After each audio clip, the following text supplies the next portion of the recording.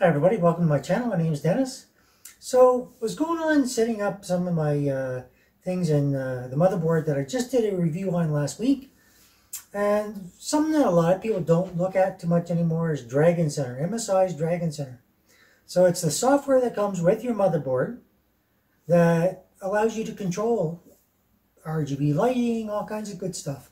Um, so I thought I'd show you a little bit about that simply because in the past it hasn't been that great. But now I've seen a few more things that I didn't know about, and I thought maybe you don't know about.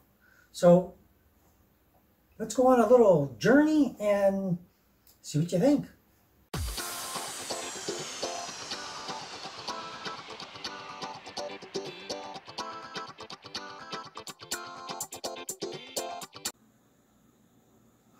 Okay, so the first thing I'm going to do is I'm just going to open what's called Dragon Center. Just double click it to open it. You'll see it loads up. Doesn't take very long. It has all kinds of different things in here. It says your CPU settings. Now I was just using it, so now it's coming down. You can set your performance. Okay, so you can change the, um, pro, you can, if you've got profiles set up, you can go silent mode, overclock mode. Now this applies to your system itself, and I believe your CPU fan. But anyway, that's not what I wanted to look at. So when you first go in here, you got Mystic Light. Okay, so I'm just going to go back to that again here. Mystic Light down here in the corner. So when you first do it, you're going to have to install it. It'll download from the internet, and then it's good to go. And so it will give you the latest updated driver from there. So when you click on it, you want to go over here. I've already done this, and this is all sync. So it's going to sync up your motherboard and the uh, Wraith Prism cooler, which now I've never had that work before, so I, I find that pretty cool. So once you've got them both working, and you can see here I've got them green, and the motherboard is flashing green because it's on breathing. But just to show you that it does work, I'm actually going to change it to a different color. Let's, uh, oh, let's go with red. Red? Yeah. And click apply. No, I don't know why it needs to be done twice, but it does seem to be. So now you can see it's changed to red. Now, again, you're not going to be able to independently change all your different colors, like your ring and your AMD and the fan.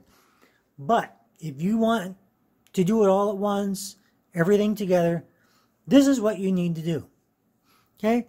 So you can unlink them here and then use them separately and, and control them all on your own or you can just keep it here. You can go to flashing and you can see it. Okay, if you're looking down here, you can see that it's flashing, but once you apply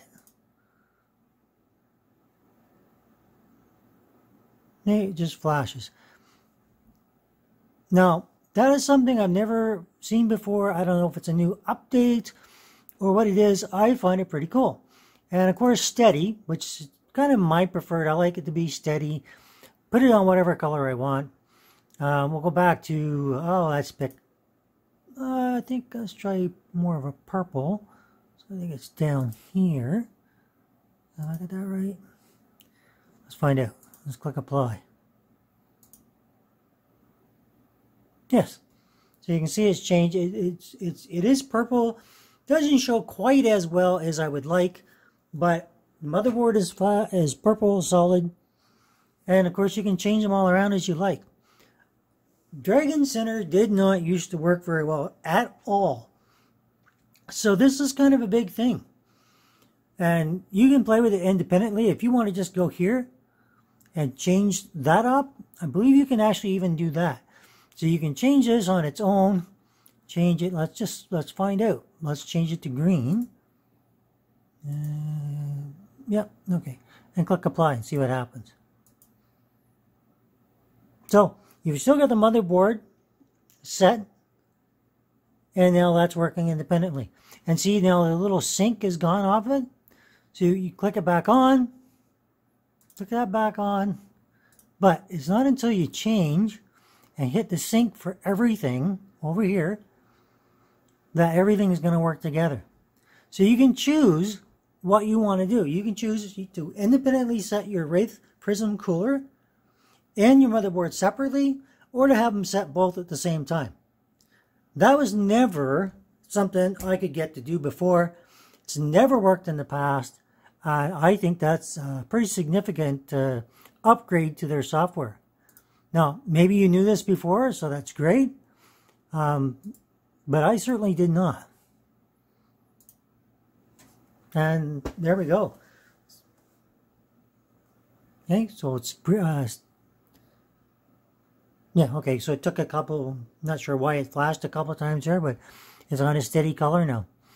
So that is just something I wanted to show you real quick, that you now can do that. So you don't need the Cooler Master Wraith Prism software unless you want to do it just independently on its own and control each individual color for the AMD logo, the ring, and the fan. Okay, because when you when you unsync them, you still can't do that. I don't think. So let's try that and see what happens. Let's go back to the CPU cooler uh, and see what we can do. Let's, does it let us do that? I don't think it does. Uh, light speed, brightness. No, it doesn't seem to. Uh, it doesn't seem to do that. All right, so I thought that was an interesting update, and I thought I would share it with you. All right, everybody, so I know this video is pretty short, but that was a significant uh, difference and change in the MSI Dragon Center. It's completely different than what it was when I looked at it last, and it actually seems to work. So you don't want to download the Wraith Prism Cooler uh, from Cooler Master software, you don't gotta. Now, I don't know if this is working with any other motherboards, but with MSI's, it now works. You've just seen it. So you can independently control your um, Wraith Prism cooler or your motherboard to have different colors.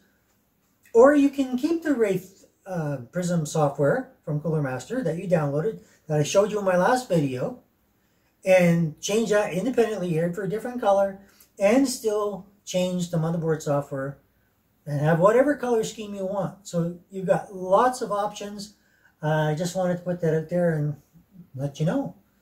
So anyway, if you like that video, hit that like. If you don't, you know what to do. Hit that bell for future notifications for videos coming up. And thanks for watching. And as always, in this time, wash those hands, social distancing, and please stay safe. I'll see you next time. Thanks. Bye-bye.